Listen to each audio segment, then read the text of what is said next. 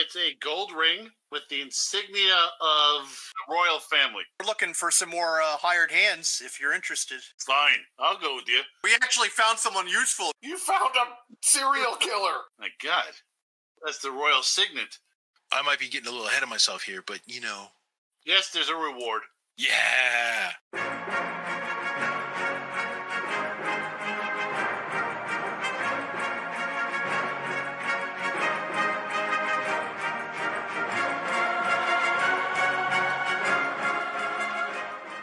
Back at the inn.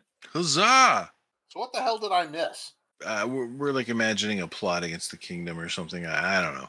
Is this the ring that was on that zombie's finger that we were trying to get? Yes, the, the one that you died trying to get. Well, you know, I heroically, uh, you know, it was pretty awesome. The wench refuses to serve you though because Rob grabbed her ass last time.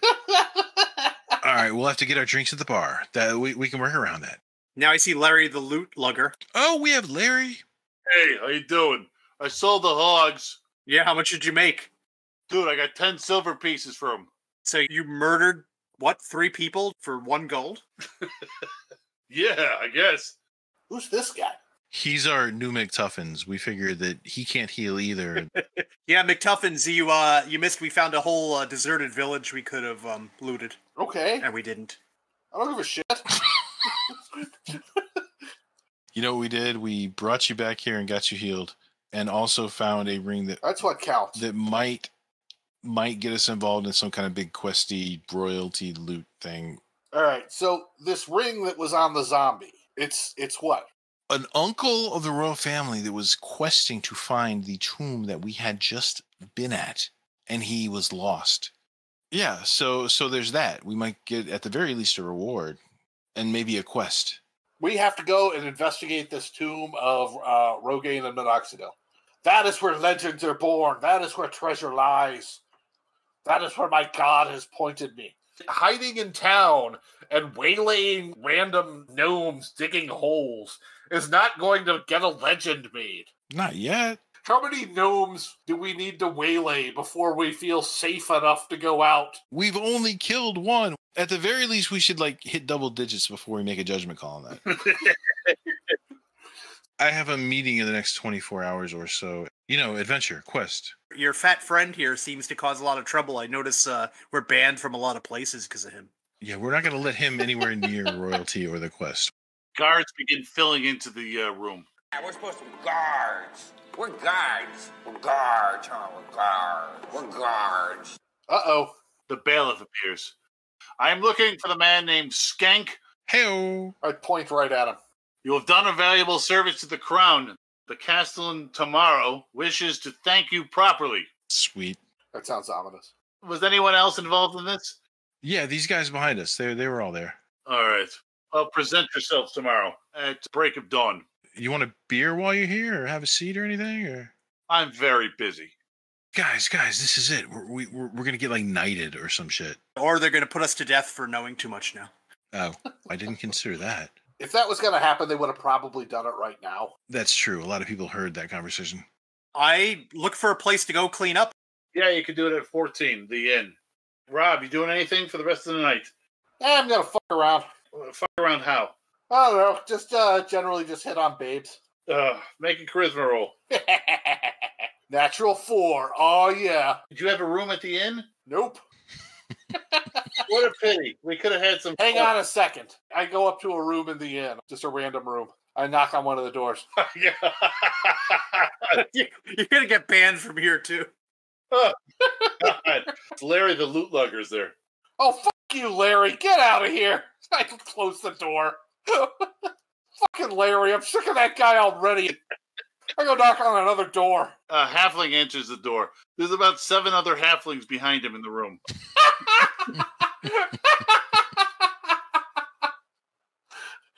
I just closed the door. Okay. Wrong room. I knock on a third door. An old man enters the door. Hello? Uh, can I borrow your room for like 20 minutes? No. I'll pay you five gold. Okay. I'll go get a drink. All right. I drag in Rando Babe into the room. Well, now you have to deal with the old man's wife that you left behind. You know, it's he's got a weird setup. There's a board there with like Eldritch runes all over it. oh shit! What the fuck did I just walk into? hmm. Well, I've only got 20 minutes, of which I need about seven or eight. So let me get that out of the way first. All right.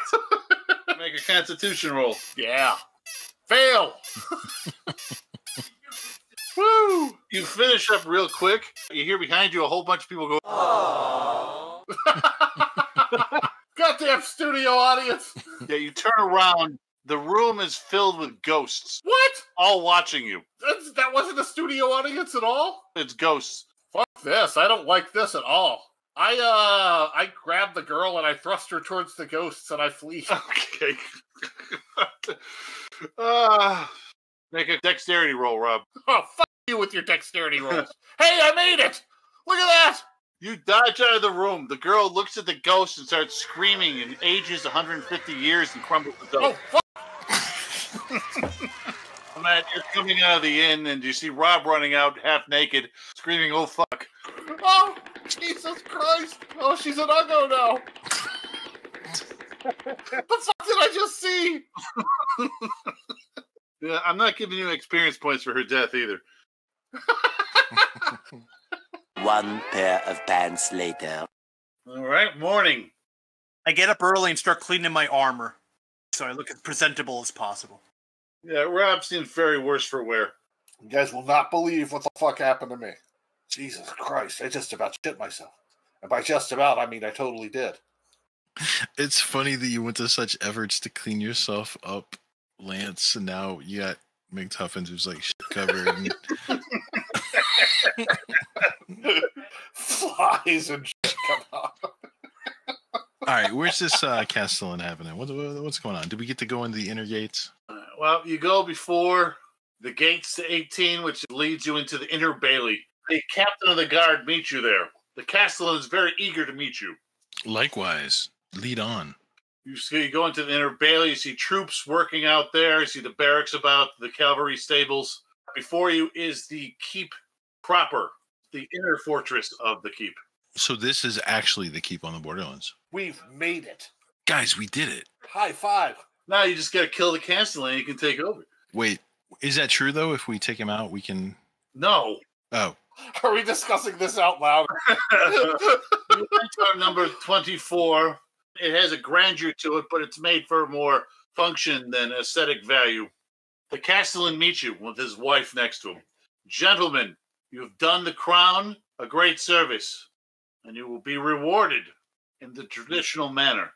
oh, this sounds ominous. We're gonna get kicked in the balls until we piss blood. Yeah. He hands each of you a pouch, 50 gold pieces each. yeah. What? The disappearance of our late king's uncle has been a mystery surrounding us for the past 10 years. Now you have found his body and brought back his signet ring. Even though the future of our realm is up in the air and we don't know who the next king will be, they're all relatives of this missing man. So no matter who comes to power, they'll have wanted to thank you. Excellent. Now, assuming some miscreant is behind this deed, perhaps if we bring him to justice, we can expect further rewards. Fine. Who turned him into a zombie? We will discover the originator of this crime. I think we'll get to work on that right away. Thank you. We're not finished yet, gentlemen. Oh, oh, You've heard of the Codex of Ulm, correct? Cotex with a T. Cotex. The Codex, this was recovered from the Mound of Ulm some many years ago. Oh, that codex. Right, you guys have no idea what he's talking about. Is it like O H L M? Is that what you're saying? ULM. It is a portal to the myriad realms around us, all overlapping upon each other. We'll remove one, and the tapestry of reality falls apart. All right. Follow me. They bring you into the room in 27 there. Interesting. Okay. What? Wow! I can't believe we're being let. He see doesn't it. know how wildly incompetent. Yeah, yeah. Of all people to bring in, We accidentally stumbled across this ring in a freaking hole. and now the uh, fate of the entire multiverse is going to be in our hands. you told me to get as weird as I want to. Son of a bitch. Your own fault. You see a circular raised dais with uh, runes all around it. The runes spark with their own energy, occasionally crackle up. In the center of it is a rotating hole just floating in the air. That is the codex. That's what the mages call it who brought it back here. How did an artifact of such obvious power end up way out here in the frontiers? It came from Ulm.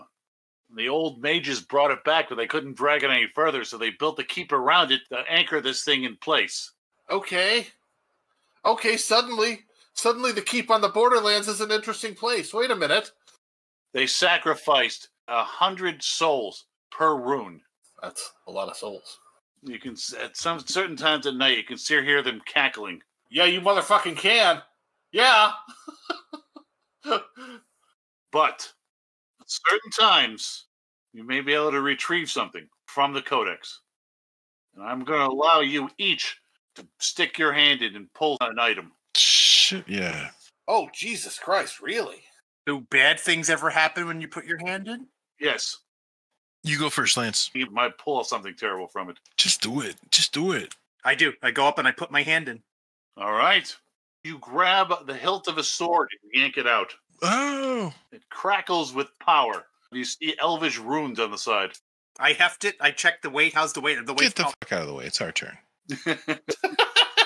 Skank and McTuffins bonk into each other, trying to be the next one to shove their hand in. You grab a sack of burlap. Yes. bag of holding or something. Thank you, Fates. Out of the way, you. I jammed my arm in there. it's a book on how to lose weight. You pull out a suit of plate mail armor. Woo! Jeebus. It resizes to your size. Good thing for that. It's McTuffin sized. Should we bow our way out of the keep room and, and flee? You have my interest now, gentlemen. We need heroes of your caliber to retain this land and take it back for the realm. I try not to laugh at the heroes of your caliber. Yes, thank you, sir. Yes, yes. yes. And backing away, backing away. A little later. I would like to look in my burlap sack and find out what the fuck I just got. What do you do with it? Look in it. You go further down than you should. This is the classic bag of holding. Is that what we're dealing with? That is correct. Aha. Sweet. I can do some damage. I'm thinking about filling up with 200 pounds of gravel. That way I can just dump it on some monster. Yeah, there you go. Oh, I'm going to get crazy. I try on my mighty suit of plate. Does that armor significantly up your tankiness or anything? I would imagine. I can tell you right now. It's plate mail plus one. Just right there in the courtyard, we're having you strip down and put it on. He's hopping along trying to put it on. Fucking A right. How much damage does my sword do? Or do I have to hit something first to find out? It's got special properties that you have to discover. You know who'd look really good with that sword? Renegade. Oh, yeah, he would. We should probably give that to him. Yeah. Yeah. If you die, I'm taking your plate mail. Yeah, not after I do this in it. Fabuloso goes, wow, that's a cool sword. Real cool writing on the side there. You know what it says? It says wizard skewer. Ooh. Yeah, I uh, read elvish. Wizard skewer, huh? Wonder what that means. That means it's a plus one sword, plus two against spell users. Hey, uh, Lance, good thing about those elves, right? They did a good job on that, right? I stay silent. You're really grateful for those elves, right? No? Man, what would we do without elves? I know, no shit. Well, I have to go spend almost all this gold on a crossbow and some bolts. Is there any place that sells tiny little outfits? No. Oh, that's such a good idea. monkey. Dude, yeah. You mean to uh, put the monkey in? Yeah. I'm thinking of a little jacket and like a little hat. You'd have to specially order that made. I will do so. Who who can I specially order this from? What's a crossbow do as damage? 1d6. What's a monkey sized crossbow do? One to two, but it's so cute. I don't think we have the little wrist crossbows yet. I think that's advanced. Andrew replies seriously to my question. It'll fling shit if it needs to. It's a well known fact that a monkey in a fight's best weapon is a rusty blade of some kind, Should we do that? like a rusty fork. Like on a trial basis? See how he does? All monkeys should get straight razors. You can go to the provisioner and uh, order a monkey suit if you want. I will do so. I'm going to go and order a monkey suit. Next to the trader. Like a little monkey wizard? Yes, a little monkey wizard. I want stars and moons on it and a little pointed hat. There's a large wagon outside the trader. You see, the trader yells at you. This is the kind of stuff I want. Not your half dented junk you ripped off a goblin. Oh, yeah? So foot bindings you you try to flog off to me. I flogged off on your mom.